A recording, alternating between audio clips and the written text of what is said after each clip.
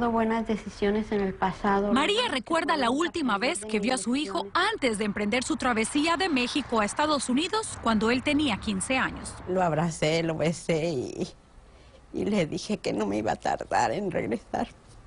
18 años después, no ha cumplido esa promesa.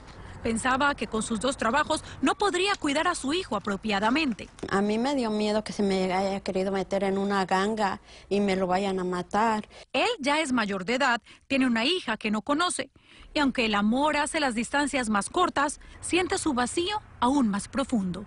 Es un día triste porque no puedo festejar con mi familia.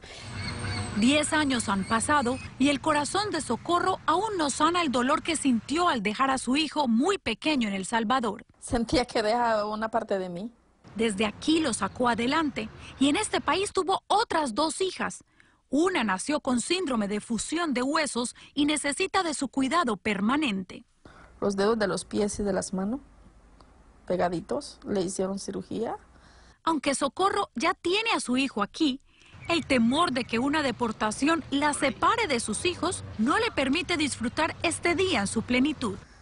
Por no poder tener un, una situación legal aquí en este país, andar a escondidas, es difícil.